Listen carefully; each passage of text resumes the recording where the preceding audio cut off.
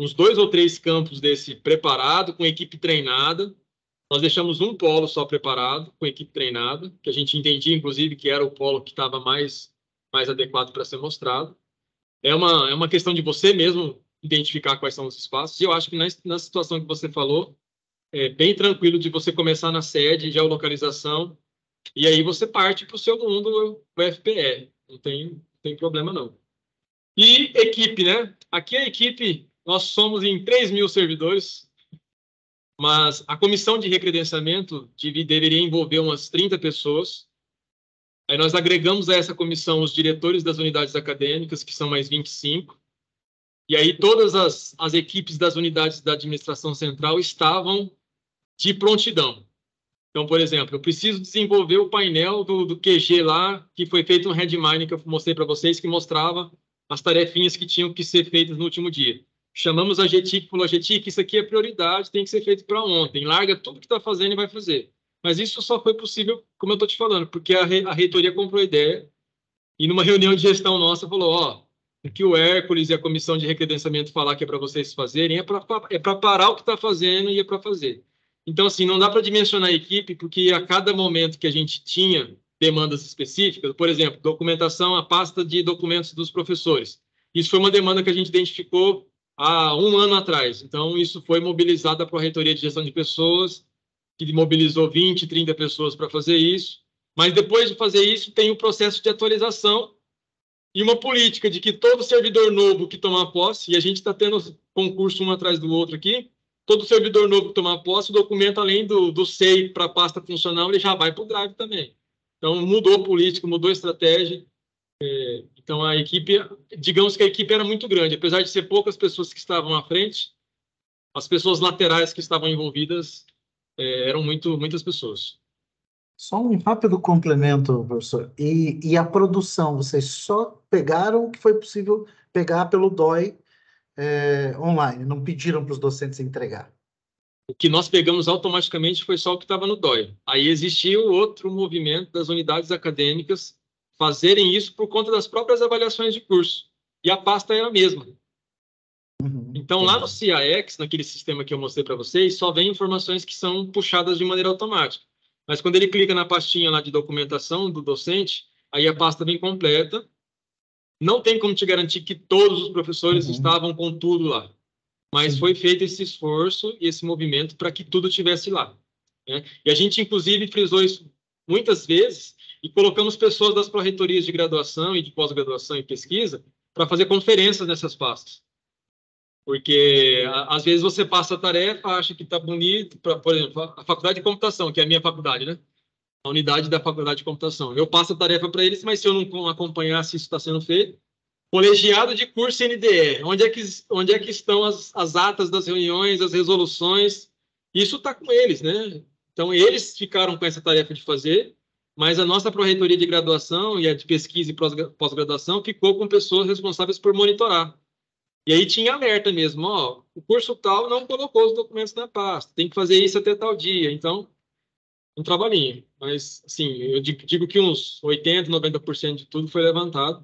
E sempre com aquele, com, aquela, com aquele receio de, na hora da visita ali, o, o avaliador clicar no nome de um docente que tivesse faltando alguma coisa. Né? Muito obrigado, professor. Ah, doutor Mário. Perfeito. Isso também foi pergunta lá no Exude, né? Acho que é uma inquietação de todos nós como lidar com toda essa documentação. Mas lembro da tua fala inicial, né, de tentar fazer pelos meios que tinham essa coletagem e só depois não conseguindo, né, por meio desses recursos, Progep, o que está é, por meio do DOI, então aí sim, né, falar com o servidor. Denise, você levantou a mão novamente, mais uma pergunta ao professor Hércules? Sim, na verdade, eu estou de porta-voz do arquiteto Dario, que é meu colega, ele está sem microfone, ele pediu para eu fazer uma perguntinha aqui. É, ele quer saber se, os, se, as edificações da UFMS estão é, tão antigas quanto as nossas, porque nós temos edificações bastante antigas, assim, a maior parte da, da nossa área construída Nós temos um total atualmente de aproximadamente 585 mil metros quadrados de área construída. A maior parte é de prédios antigos que foram construídos antes da, da normatização de acessibilidade, né? Então, ele quer saber se a UFMS também é assim e se você tem de cabeça a área construída da UFMS. De cabeça eu não tenho mais. Eu tinha no dia da visita lá, estava tudo decorado. Mas eu posso mandar no PDI, a gente tem todas essas informações. Inclusive, isso é bem bacana, porque a gente decorou todos esses números na época e durante a visita, quando a, a, alguém ia lá e visitava o banheiro, quando voltava para mim, eu falava assim, ó, lembrando que não é só esse banheiro que a UFMS tem, a UFMS tem mais de 300 banheiros adaptados, conforme está no PDI. Então, essa, essa estratégia foi bastante bacana também para evidenciar né, esses números que estão no PDI, mas se caso eles não tenham visto, a gente está reforçando. Nós temos uh, as instalações antigas também, mas hoje nós temos mais instalações novas do que antigas. A UFMS ela foi construída num core aqui na cidade universitária, que é o que nós chamamos de corredor central. Esse corredor central são prédios antigos. No campus de Corumbá, nós temos, inclusive, algumas, algumas edificações que são tombadas, né?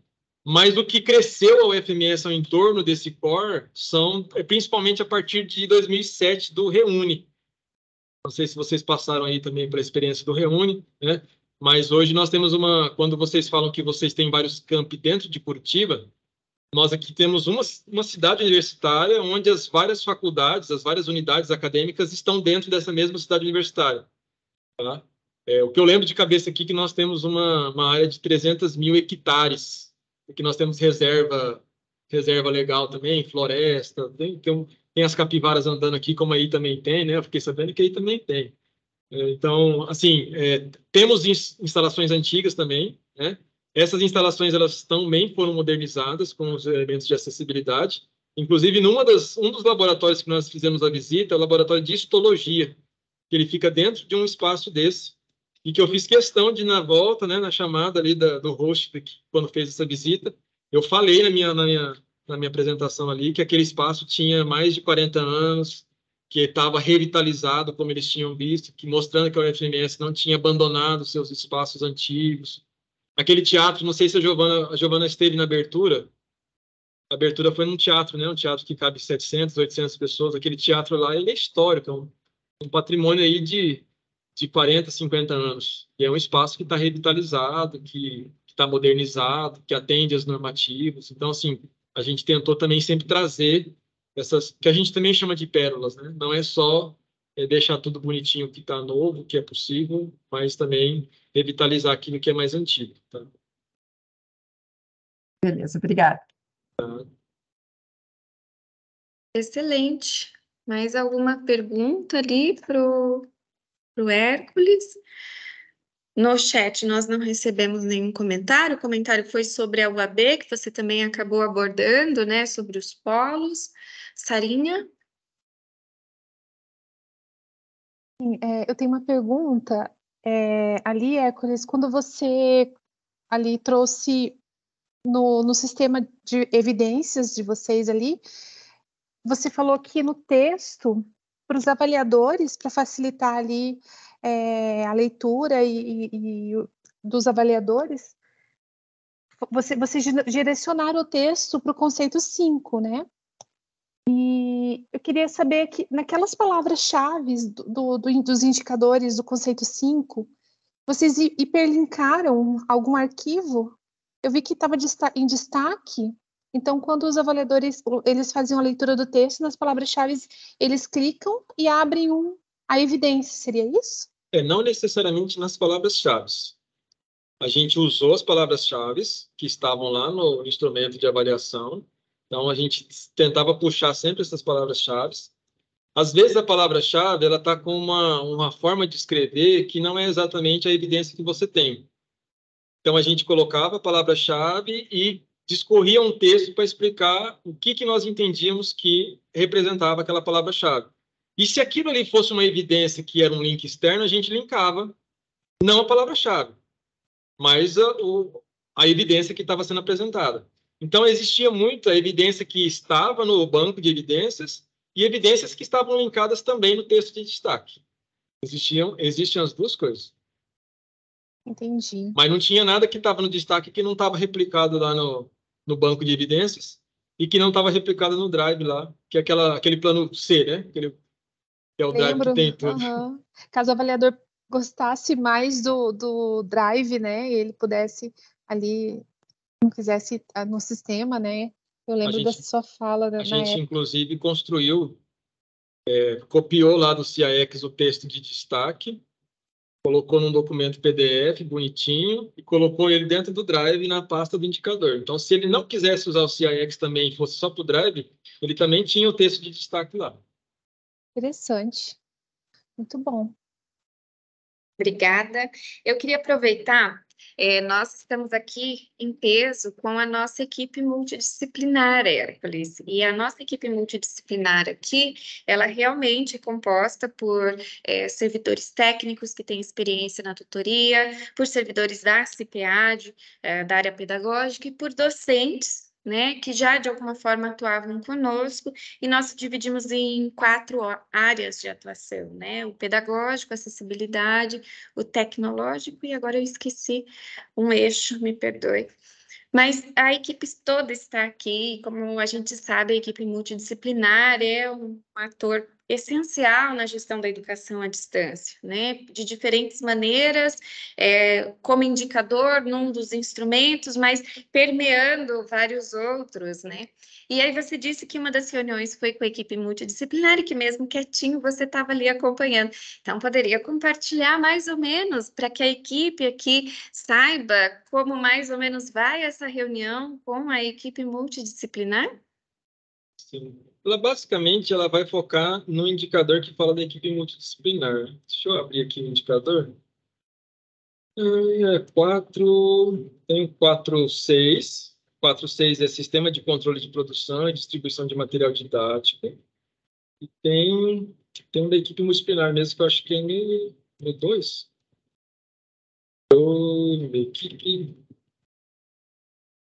Deixa eu achar aqui. Qual que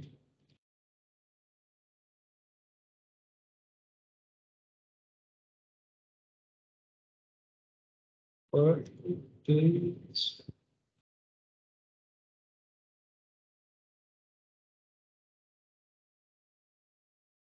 Tem o 2.6, né? Que é o PDI, Política Institucional para Modalidade EAD. O 2.2, Planejamento Didático Institucional e Política de Ensino de Graduação e Pós-Graduação.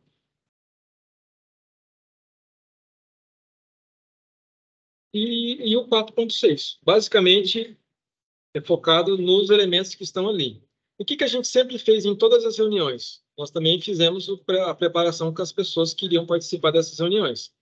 Preparações sempre no sentido de mostrar o que, que era a avaliação, a importância dela, mostrar o instrumento, focar os indicadores que iriam ser base para aquela, aquela avaliação. E aí a gente pedia que essas equipes montassem, tirando a equipe de professores e técnicos, as outras equipes todas montaram uma apresentação. Então, quando a comissão avaliadora começava a reunião, alguém da equipe pedia, ó, oh, eu tenho, nós temos uma apresentação, a gente queria mostrar para vocês como é que funciona a equipe multidisciplinar aqui na, na nossa instituição. E aí mostrava tudo bonitinho em apresentação, visual, remetendo aos indicadores que, que tratam da temática, né? E aí a, a, comissão avaliadora ela só faz questionamentos de coisas que ela não, não percebeu que estava evidenciado ali na fala. Isso foi bastante importante na equipe multidisciplinar e na equipe tecnológica. Na equipe tecnológica, eu acho que você, inclusive, vai ter equipe multidisciplinar que está lá. Então, existe muita interseção. Na nossa equipe de técnicos, equipe multidisciplinar e equipe tecnológica, há uma interseção dessas pessoas. A gente até ficou meio preocupado, né? O que, que eles iriam achar. Teve uma avaliadora que falou assim: ah, você também estava na reunião tal. E a gente nunca entendeu se isso era positivo, se isso era negativo, né? Mas se ela tivesse feito algum questionamento, né? Eles iriam explicar. E nós treinamos também essas pessoas para que sempre que a pessoa fosse falar, ela se apresentasse.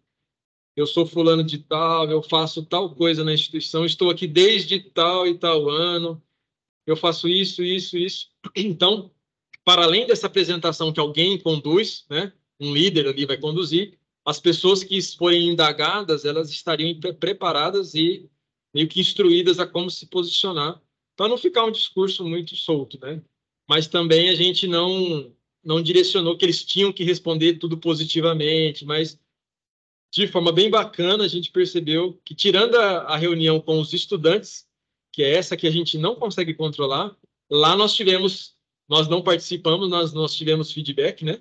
Nós tivemos posicionamentos que eram positivos e posicionamentos que eram negativos. E isso foi bacana, porque a, a comissão avaliadora depois trouxe esse feedback para a gente de que se tudo fosse positivo, parecia que estava maquiado.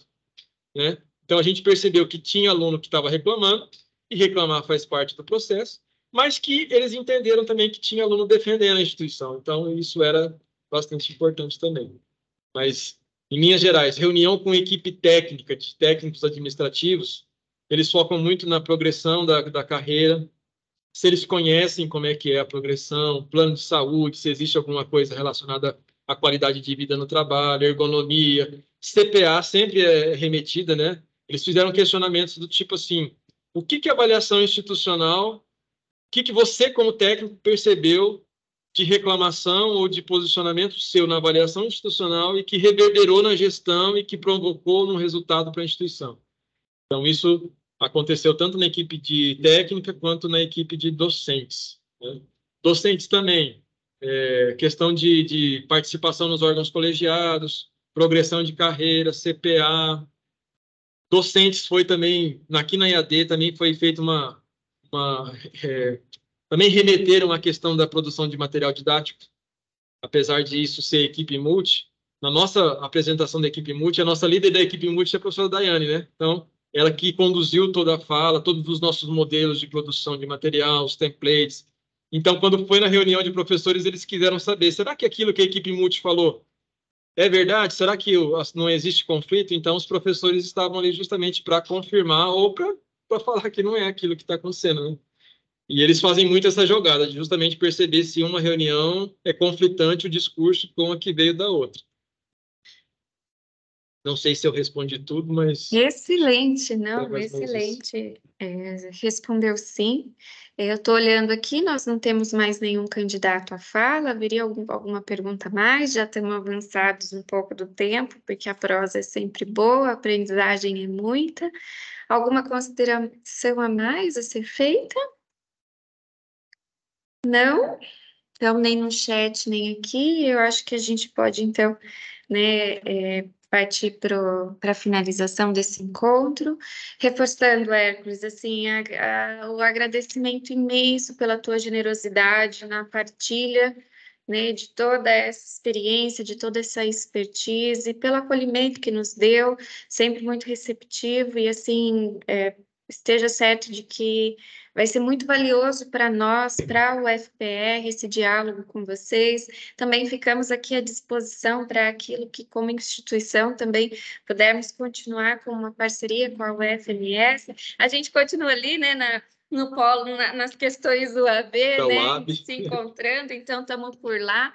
Mas agradecer imensamente é, a tua fala, a tua tua palestra, agradecer aos presentes, né, agradecer imensamente por estar conosco, por essa preocupação, também por esse cuidado com a instituição, em especial com a educação à distância. Agradecer a equipe multidisciplinar, os servidores da CIPAD aqui presentes, a comissão organizadora desse evento, muito obrigada, aos nossos estudantes que estiveram aqui mediando, cuidando aqui do nosso chat, então, meu muito obrigada.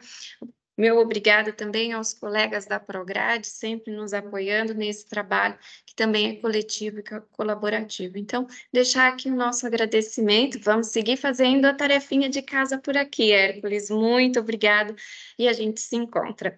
Um beijo, obrigado a todos e até a próxima. Obrigada, Obrigada, pessoal. Não esqueçam de marcar a avaliação de satisfação, que isso também vai computar a presença de vocês no evento. Tchau, tchau, pessoal. Tá bom, muito obrigada. Continua, continua à disposição, viu, Giovana, Sara? Obrigada. Obrigada, Hércules. Até. Tchau. Tchau. Um abraço a todos. Obrigada. Até mais.